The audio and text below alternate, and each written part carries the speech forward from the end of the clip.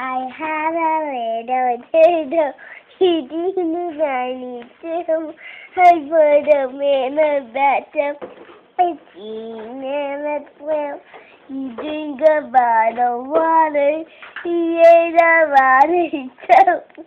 He and he's lying chicken that is bubble and it's throat.